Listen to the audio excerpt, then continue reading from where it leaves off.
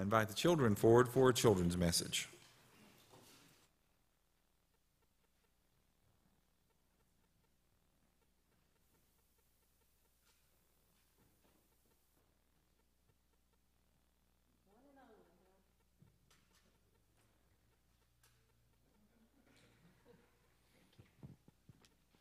I'm speaking to everybody today, so you better listen.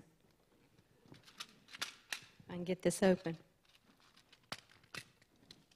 Okay. Jackson, this is you. Look how nice and clean and you are. Do you ever do anything to mess that up?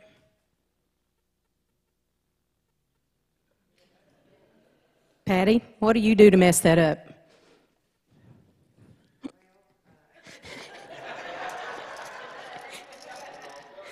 I've got, I've got a green pen for you. What do you do to mess that up?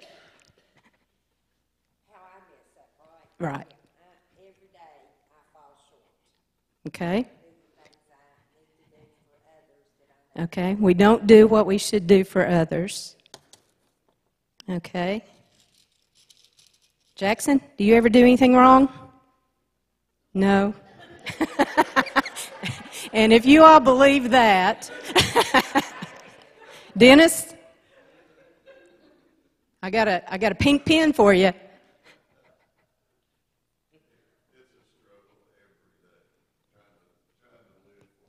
Okay.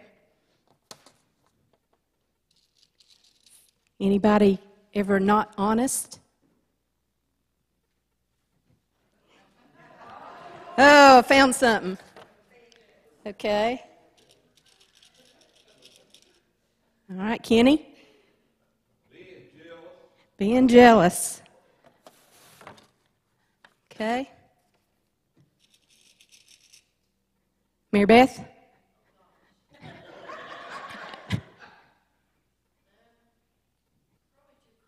Okay. Jan Tate, Jan Tate? all of the above. Okay. Impatient. One of those fruits of the Spirit you were talking about this morning, Christy? Not patient, not kind. Preacher? Invading Martha's space.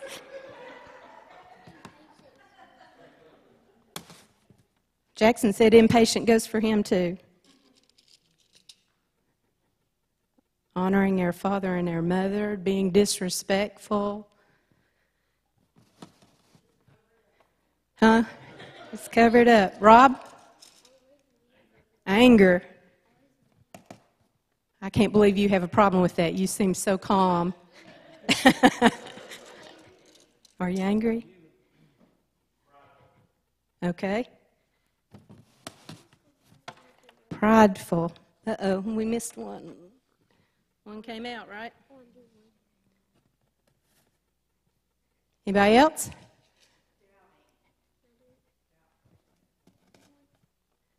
Sure. What else? Got to think of something to put one in. Failing to pray. Okay. Embarrassing people? Yeah. That's not very nice, is it? Okay, what do you think God thinks about that?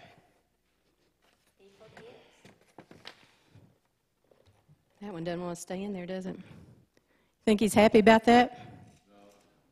No. But you know what? He can do something about it. He can forgive us and cleanse us from all this stuff that's up here and more. Okay, Jackson, take them out. God's going to forgive us and He's going to cleanse us from all this sin that we've got on this piece of paper.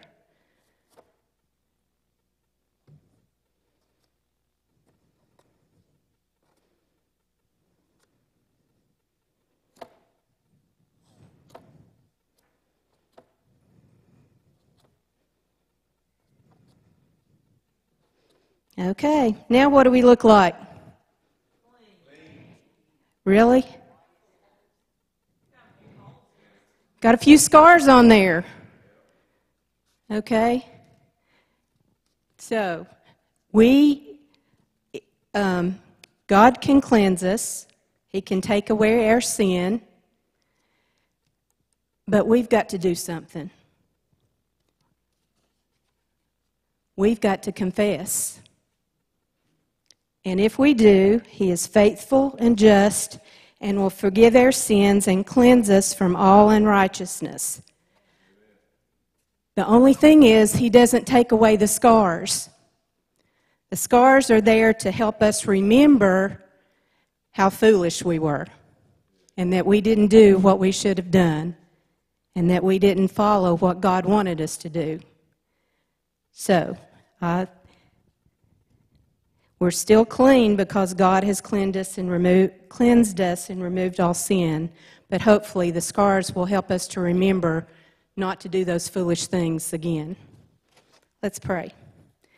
Dear Heavenly Father, we thank you for this message that, that you've put on my heart. We pray that as we examine our lives and we see all those sins dirtying up our, our our piece of paper that we will allow you to pull those sins out of us, cleanse us, but help us to remember that the scars show how foolish we were in the first place. Just guide us and direct us in all that you would have us to do. In Jesus' name, amen.